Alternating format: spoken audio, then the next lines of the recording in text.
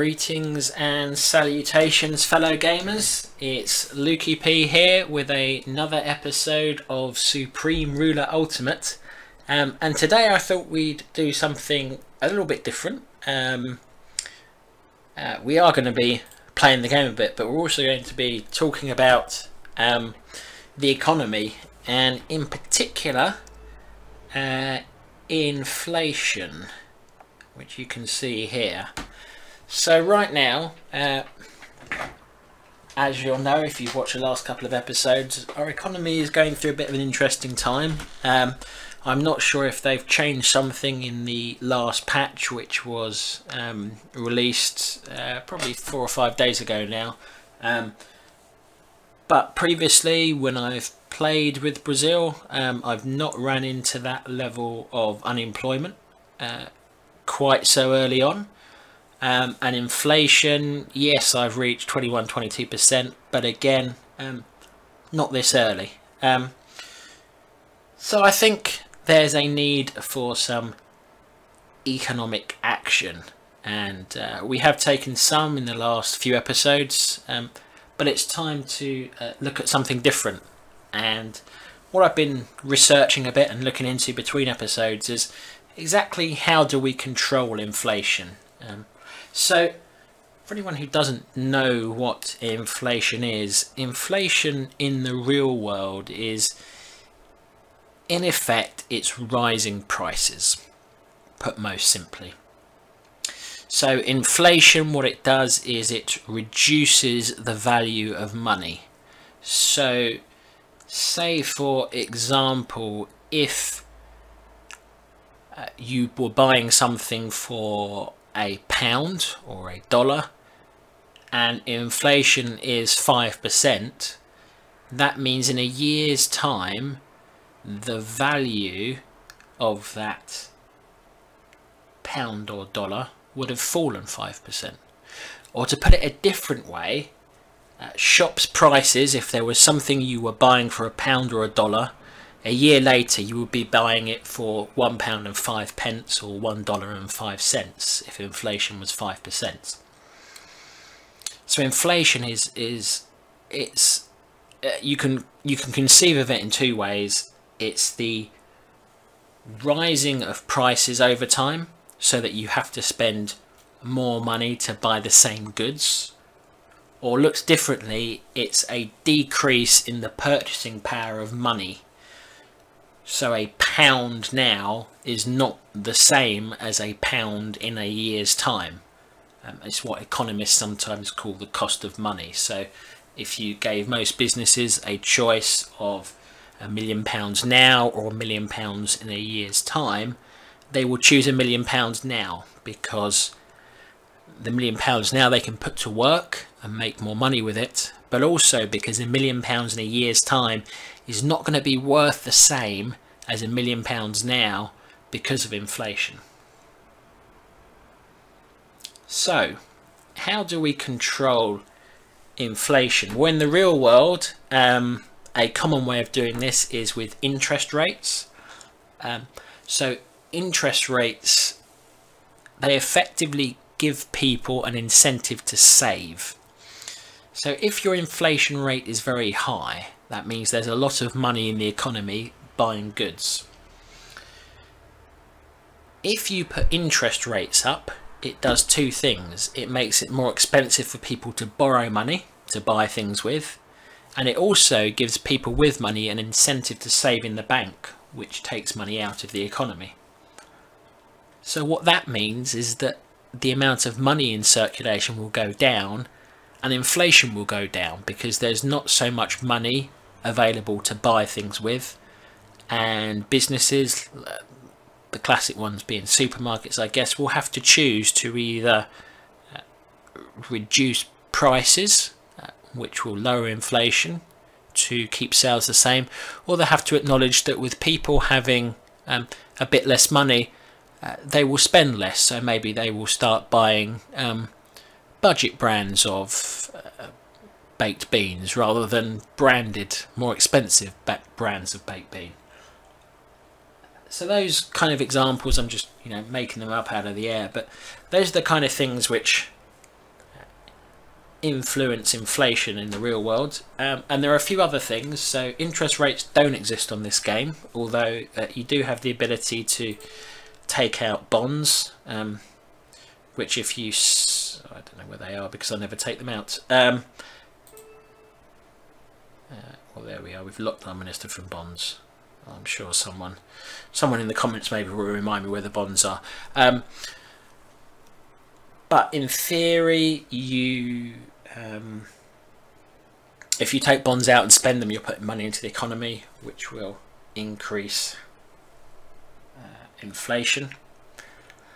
Uh, now, in the game and in real life, there are other ways you can uh, you can influence inflation. So one is to reduce government spending, and another is to put up taxes. So if we think about what inflation is, it is more money chasing goods. That's the way I'm going to choose to define it for convenience in this video. Uh, any economists will probably uh, think that's a simplistic definition, but uh, at its most basic form, that's what it is. So the challenge is to reduce the amount of money in circulation. So there are a number of ways we can do this. We can put taxes up. So if people are paying more taxes to the government, then they don't have as much to spend. We can reduce government spending. So if we reduce the amount of money we're putting into the economy, so if say we reduce the amount we're spending on healthcare, then uh, there is less money in the economy, which will reduce inflation. Uh, the way it reduces inflation is linked to unemployment. So the, in effect what we're doing here is our inflation in this scenario is high because our unemployment is low. So lots of people have jobs. It's difficult for employers to find people to actually work and therefore um, inflation has gone up because either they've got because there's a shortage of labour in effect people are having to pay more to find people to work in their businesses So by reducing government spending, we are in effect reducing the number of people working in healthcare, say. So if we reduce government spending in healthcare, people who work in healthcare, some of them will be uh, made unemployed, uh, which is unfortunate, but A, it's economic theory, and B, we've got to remember this is just a game. Um, so uh, us, us putting down uh, healthcare spending will mean um, that unemployment goes up and inflation goes down. Because if we are reducing healthcare spending, there are fewer jobs. The other thing we can choose to do is we may choose, for example, to specifically put up the tax on small businesses and corporations because these create jobs. And so if we are taxing these organisations more heavily they are less incented to operate in our country. Uh, they are also less able to employ people. And so we will find unemployment going up and inflation going down. The other thing we would need to stop doing to lower inflation, which we probably won't do, is to stop building. So between episodes, I have in effect carried on from here separately in a separate save game file just to do a bit of testing. I've not done much um, other than to play with some of these taxes and spending rates and see what it does to inflation over a number of years. And what I found is, um, for example, if I put taxes up and spending down, my inflation does start to reduce and my unemployment does start to creep up which is what we're trying to achieve here to, to uh, make our economy effective. What I then did uh, was to build um, up in the northeast of the, uh, sorry, northwest of the country here. Um, these engineers we sent, started sending on a march a few episodes ago. Um, we built an air base and two supply bases up here, and that put my inflation up by 0.5% in a very short time period. Um, and the reason it does that is because we're still quite a small country and economically and actually suddenly injecting um, a building project like that into the economy does drive up inflation because there is more money, um, there's more jobs going, uh, so there's more money chasing goods, therefore inflation goes up. The final thing I just want to say in this kind of circle, so there's inflation, unemployment, there's also GDP per capita, uh, which you'll see up there at the moment for us is three, three, $305. Now when we started, um, it was, I want to say, about $190. So in effect, we've grown our economy by, uh, we've grown, we should say, the purchase or the, the money available to our population by about 50% in very short time period. So GDP per capita is basically, it's a measure um, of how much money each person has to spend. So capita basically means per person, GDP is gross domestic product. Um, so uh, for the purposes of this game, when we're thinking about it, if we've uh, put our GDP per capita up uh, through our economic choices by 50% in what under two years, in effect, our economy's grown by about 50% because the average person now has 50% more money. So we're making 50% more stuff in some ways. But it also means that they have 50% more available to spend, which inevitably is going to cause inflation. So what we're going to do in this episode, um, having explained that, and hopefully that's of use, uh, if there are any questions about inflation, um, and how to control it, please do drop them down in the comments. What we're going to do in this episode is we're going to attempt to uh, lower the pressure on our economy in effect. So we are going to put taxes up, we're going to reduce social spending a bit um, with the aim of uh, reducing our inflation and increasing our unemployment. And as a result of that, we'll probably put our GDP per capita down. Now what this will do is that will reduce our domestic approval, um, which you see here. Um, now, the thing is, is we are an we are a dictatorship.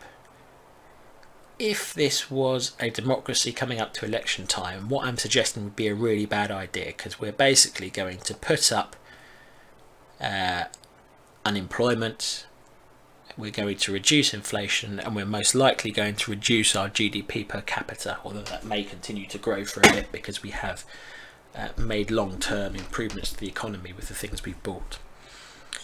That makes people unhappy and is a really bad thing to do just before an election. But because we're a dictatorship in Brazil, we don't have to worry about that.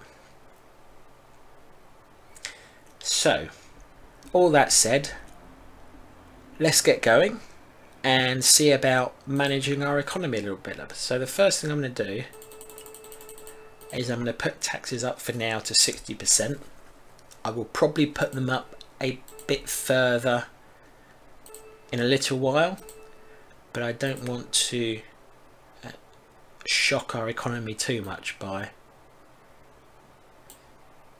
suddenly putting it up. Um, we're going to lower our social spending a bit and actually, interestingly, um, I don't know whether it's this latest patch or a couple of patches ago, um, I did read somewhere that reducing your education budget actually increases your population because less educated people know less about um, birth control and so tend to have more children. Now for us that's a good thing because our unemployment is a problem um, and if we have more people, more population, um, we will have more people available to work. So we want to increase our population. So you can see there our immigration is about 150,000, our immigration is 40,000, our births are 814,000, our deaths are 865,000. So odds are our immigration will go up as a result of these decisions and our deaths will go up because we are putting down our healthcare and we are putting down some of the things which make our country attractive and make people want to stay and not immigrate. Um, but our births may go up a little bit because we're dropping our uh, education budget. Infrastructure I'm going to leave where it is because I do see that as an investment in uh, an efficient economy. Family subsidy, I'm actually going to leave that where it is because I do want more people. Law enforcement, we're tweaking a little bit, but we're only spending a million on that. Um, cultural subsidy, we will keep just to avoid harming our um, immigration too much uh, so we may come back actually and just slightly tweak our family subsidy down. Um, ah the other thing I forgot to talk about entirely domestic prices. This is another great way to reduce inflation. So basically domestic prices um,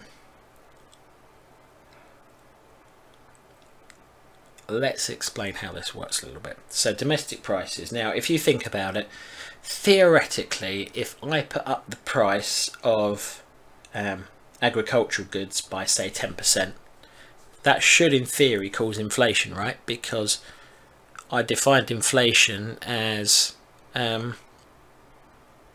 the the cost of goods. That was one of the definitions I gave. So in effect, the price has gone up by 10%, surely by definition I've increased inflation by 10%, which in the real world, yeah, that would be the case. Um, so inflation is it's kind of an arbitrary measure. So the way it's measured normally is the government chooses what's called a basket of standard goods. So they're things which everybody tends to buy. So they might be, um, you know, certain foodstuffs. Um, they might be a price for telephone, mobile phone contracts. Everyone tends to have those these days. And those prices are monitored. And if those prices increase then the government says hey that means inflation's gone up. So inflation is um, it's a bit of a measure uh, and it's a little bit arbitrary because it depends on what they've selected to determine inflation. So what we're doing here is if we're putting up the prices in effect we're increasing inflation but having read um, the official wiki for this game. Um, that doesn't uh, uh, that doesn't actually drive inflation up here, which is a bit surprising. And I've actually seen some contradictory things online uh, with some people saying that actually the way to lower inflation is to reduce domestic prices. Um, Now the reason I think you want to increase prices here is because I think the game measures inflation by saying how much spare money have people got. So if I drive up the price of these goods which people need, they have to spend more money on these goods and so there's less to spend on other stuff. Which means they have less money available to spend on the other stuff, therefore inflation has in fact gone down. It's it's not entirely you know it's not how the real world would work but as a simulation I think I get where it's coming from. So what we're going to do is we're going to put some of these things up by 10% maybe even a bit more where our population make use of them. Now our economy really isn't going to like this.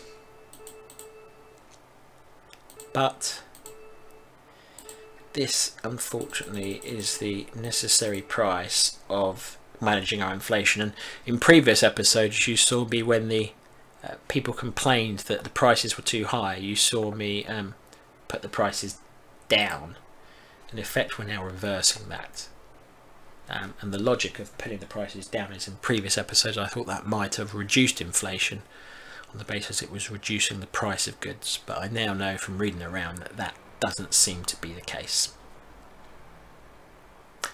Okay, so we've made those few adjustments. We're now ready to play again. Um, in world news, Hitler has promoted himself.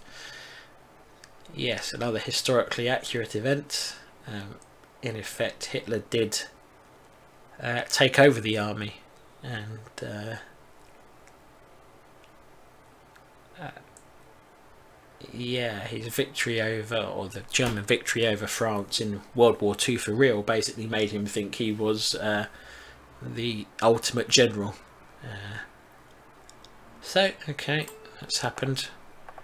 Diplomatic exchange successful, that was from the last episode. So, um, let's get going. Having looked at economic theory, this uh, this episode may now run a little bit longer than normal. Uh, Anschluss. So we spoke about this in a previous episode. So this was the Austrian government has effectively fallen. German troops have entered Austria with no resistance, effectively annexing Austria across the border this afternoon at Braunau, his birthplace. Well, we're not going to support or condemn that, we're just going to leave that be. Uh, China's come in for our industrial goods, uh, for our consumer goods rather, which is great. They're offering basically 6 million for 5 million's worth of goods, which is a 20%-ish plus margin. So we're definitely going to accept that because consumer goods are trading at less than 20% margin on the market. This was why we took about 50% of them off the market because people are going to start bidding for them and they're going to bid at better prices than the market. Diplomatic offer, uh, more consumer goods. Now these guys want to pay us less than the market price.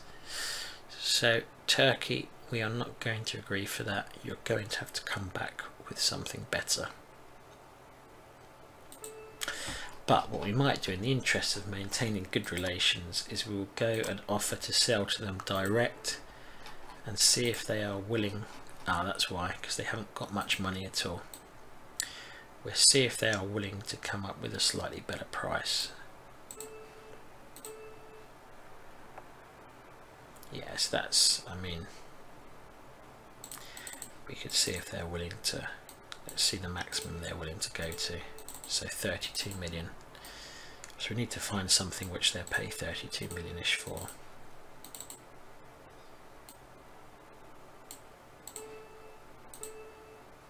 That day. So you see here, we're on really friendly terms with them.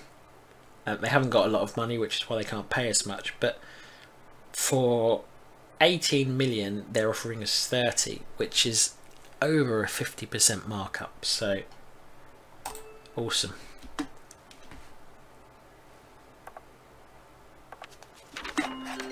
Dramatic Alpha from France. There we go. So again, look at look at this. So this is we've taken some of our petroleum off the market in previous episodes. We're only selling 10% on the market, which basically means people now know they can come to us and bid for our stuff we're not selling to the market. France has come to us and said for 2.343 million worth of goods, they're going to pay us seven. So these are the kind of great markups you can get by if you can afford to take stuff off the market and have your economy not collapse. It's a really good thing to do quite often. Uh, Colombia, uh, yeah, we'll probably accept that as well. It's not quite as high margin as we'd like, but it builds relationships for the future.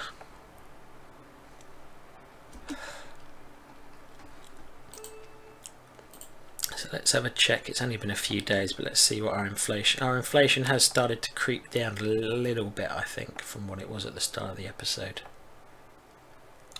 You can see our immigration started to go up already. So people are leaving the country because they don't like our new taxes. Um, now, the truth is, is to see any real effect of these changes on policy, it's going to take a while. Um, and it probably won't be obvious in this episode that what I've done is materially affecting inflation.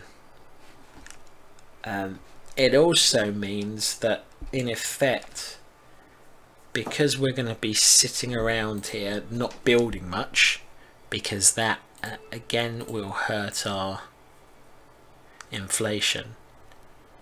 It means potentially these episodes will be a little bit slow. Um, so what I'm going to do is I'm not going to play a pure economy game about reducing inflation. If there is demand um, in the comments to see a game which is just purely focused on reducing inflation to prove that um, what I've said works actually does work um, I may consider doing that. I have got another save game but it's kind of like three years on from here I think where I have just been focusing exclusively on reducing inflation um, and not develop my economy. But what we're going to do here in this game is in effect here we are making money. We've got spare consumer uh, spare industrial goods capacity. Consumer goods people really want. Um, so by logic I should be looking at building um, some more uh, a little bit more power to support it and some more consumer goods.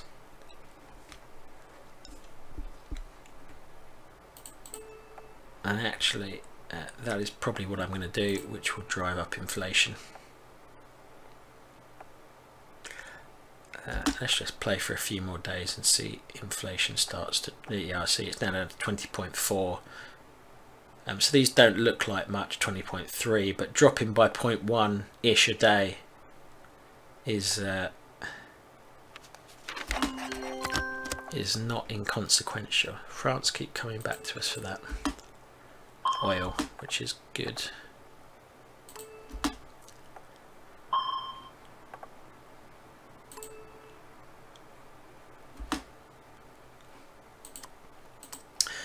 got our another motorized engineer over there.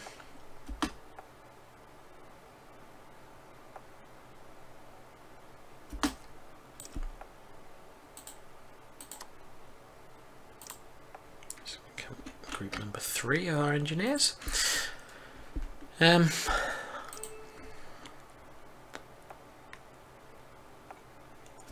So you see now that our inflation really, so you can see the impact of this. So our unemployment's gone up by 0.1%.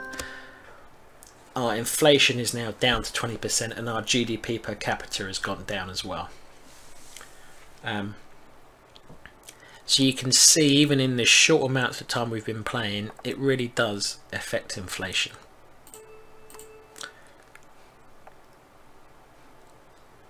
Uh, now what I'm going to do is we've barely played this episode really. We've spoken through principles. But in order for this episode not to run overly long, I am going to wrap it up there and I'm going to leave this almost as a little bit of a, a standalone episode talking through inflation, a little bit of a, uh, a tutorial almost on how to manage inflation. So you've seen, you know, since the start of the episode, we've dropped several points on inflation or, you know, not full percentages, but we've gone down to 20% and our unemployment has got up. That will continue to happen. Um, and especially if it does start to stagnate, we can put our taxes up more or we can reduce our spending further. Oh, that's the wrong window. We can reduce our spending further here or we can look to increase our population because if we're earning the same amount of money or we're creating the same amount of money as a, as an economy but we have more people um, our GDP per capita will go down. Um, our number of jobs doesn't necessarily change. So if we had say 50 million people now we'd still have probably roughly the same number of jobs because I'd still be creating the same under all of these areas. So um, that would also help our inflation because our unemployment would grow up, go up. Uh, or we can push up our prices. All of these things can be done.